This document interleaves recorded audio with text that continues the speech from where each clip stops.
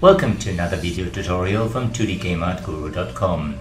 Today I'm working in Affinity Designer to show you how to use the compound function to create a monogram. Affinity Designer offers a bunch of approaches to create an effect like this.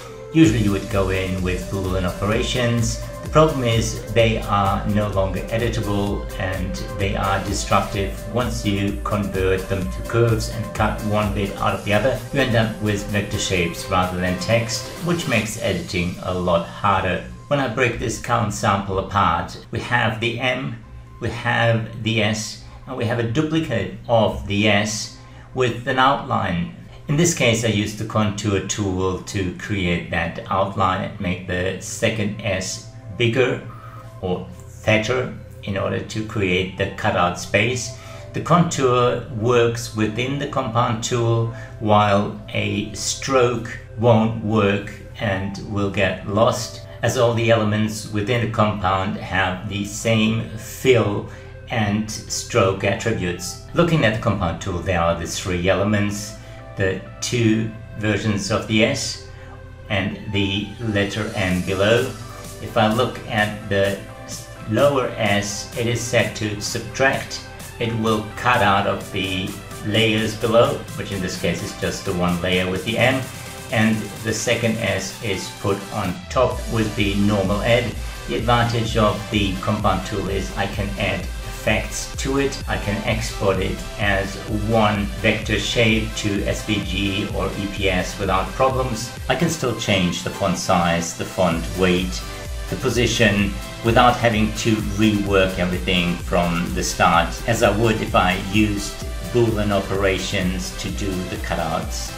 Let's start a new project and create two letters. Using the artistic tool I put capital A on the screen, I change the font to Times New Roman, a standard Windows serif font, duplicate the A and change it to the D so both letters have the same font attributes.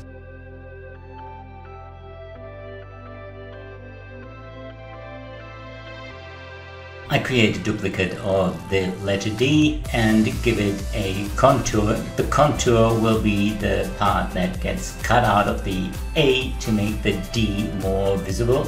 I combine the three letters with the layer create compound function.